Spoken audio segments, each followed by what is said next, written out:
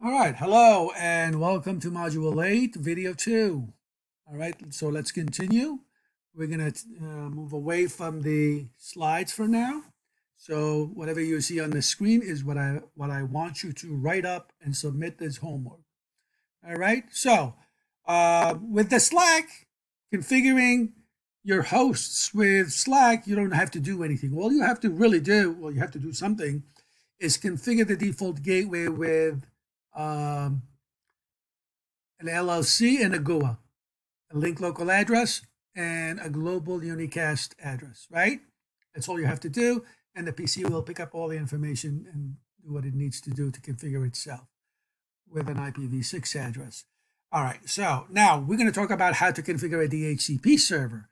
So the DHC, uh, the Cisco router can be configured as three devices. It could be as a, as a server, it could be a client, and it could be a relay agent. So let's take each one separately. Let's take let's talk about the stateless DHCP ver, uh, version 6 configuration, stateless. So on the server end, this is what you exactly what you would type. This is an example of what you would type, and we'll get to the client in a second. All right, so what you need to do, as you probably already know and should know, is to enable the, the, the router for IPv6 um, for IPv6. So you type in the command IPv6 space unicast dash routing. All right, that will enable the router to do uh, dual stacking. It'll be able to process IPv4 and IPv6 addresses. All right, then you create IPv6 DHCP pool. There's the pool of addresses, right? And you say, here's the DNS server address and here's the domain name. Simple. That's it. Stateless is just giving you the DNS server and the domain name. That's all it's going to do. Right? But now to enable the router, to give information, to, to let the host that there is a DHCP server. So you go to the um, you go to the interface of the default gateway and you say IP DHCP server pool VLAN 10. So this interface is your default gateway that's connected to the users. And then you enable it. So when it sends the RA information, it's going to tell it where I'll go. I'm going to give you information about your DNS server, right? Uh, that's it. So you're saying to the default gateway where all the users are, there is go there, this is set up for a DHCP. You're going to go and anybody come in, in and asking for information, we're going to give them this information in the, from the DHCP server of pool-VLAN 10. All right, so, and that's it. On the client side, all right, so what do you do? On the client side that's connected to this server. So all you have to do is, well, here you go. You just go IPv6 enable, you type in, right? If it's a router, by the way. If a router is a client, if you are a PC, you don't have to do anything, of course, right? But if, if there's another router that needs to grab an IP address, you just go to the interface of that router that's connected to the DHCP server and you type IPv6 enable. This is will allow it to go and get the IP addresses and all the information it needs from the server. Right? As a client, you don't have to do anything, of course, right? Um, you could type also IPv6 auto config on that interface if you wanted to do that. It will do SLAAC. It will not, you know, just get the information from the uh, default from the interface that it's communicating with and get the prefix and all the everything that it needs to configure itself, right? The commands that you can use is show IPv6 interface brief, you could type show IPv6 DHCP interface gigabit 1010. All right, so that will also give you all the information that it needs to, to make sure that your device has been configured correctly. All right, now let's look at stateful DHCP version 6 configuration.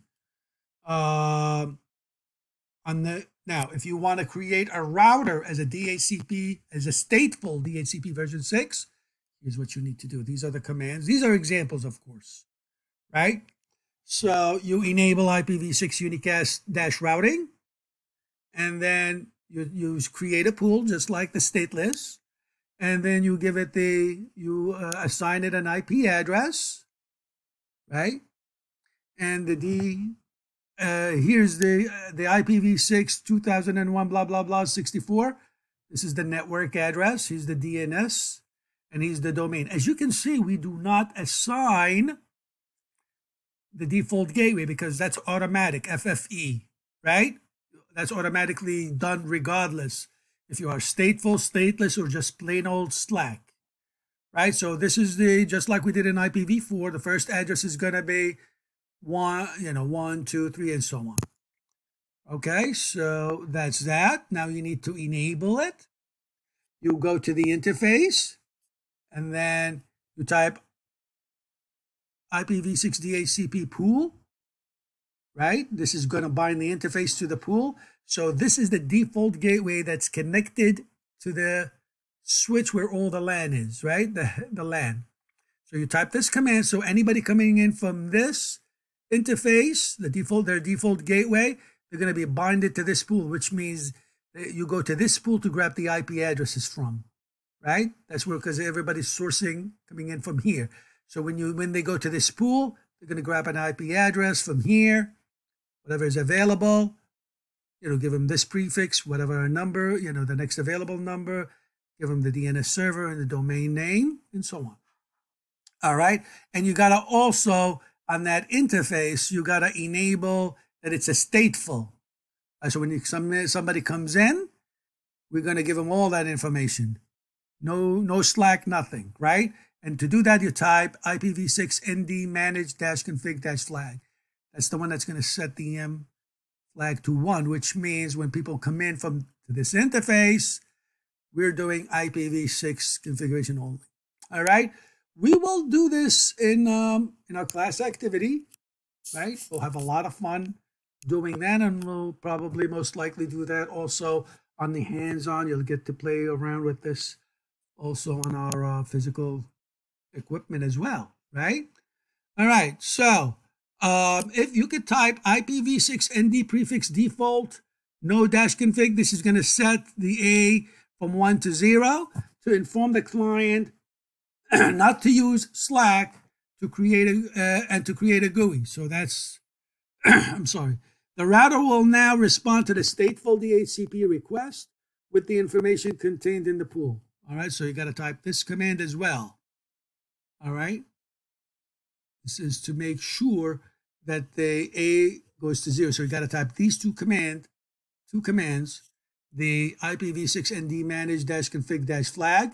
You set the M to one, and you got to reset A to zero to make sure that you're using stateful. So these two commands, one right after the other, will make sure that you are using a stateful DHCP version 6 server. On the client side, well, same thing. you can do this, type IPv6 enable. That will configure the LLA, okay?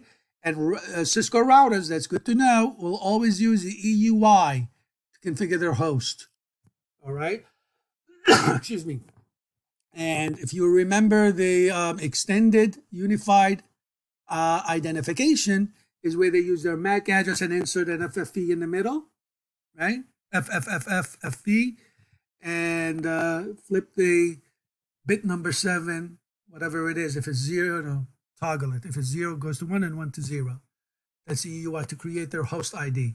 And then they'll send out a DAD, a duplicate address detection, see if somebody else got it. Cisco routers will always do that when you type IPv6 enable. All right, you type IPv6 add DHCP. Excuse me. To use SLAAC, you can use the commands to double check and make sure everything is the way they're supposed to be. Hold on a second. Okay, so we're back. Uh, you can use the command show IPv6 DHCP pool you see the pool of addresses that have been, uh, the pool of addresses, the, the pool of the addresses that are going to be leased. Show IPv6 DHCP binding, that's going to show the MAC addresses and the IP addresses that have been given out. All right, now let's talk about the uh, the relay. And here I want to explain to you what happened is your DHCP server is on the other side. When you send out a DHCP, you got to send out a relay, just like in IPv4. Remember, right? Type in an address. When the broadcast comes in, you can send it directly to the server. And to do that, you go to the interface G010 and you type in this command. Um, IPv6 DHCP relay, destin- and this is your destination going out of this GPA, right? G00. 0. So going from here, relay it to here. That's what it's saying. Okay, so it can go, this is where the DHCP server is.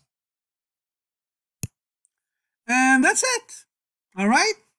So please write, now you know how to configure DHCP version 6. You can, can stateful or stateless. And of course, you can do um, SLAAC. All right, so please write all of this down and uh, submit them, and I will see you on the next chapter.